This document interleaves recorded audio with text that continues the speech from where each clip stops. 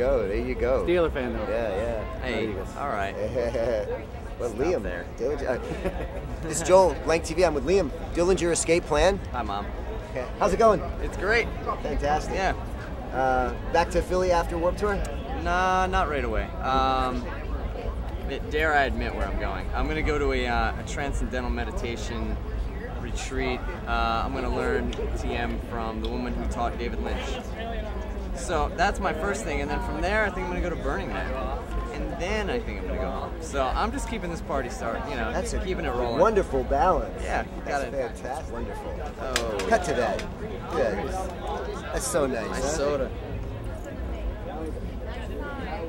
Bleeding. We got a we got a bleeder.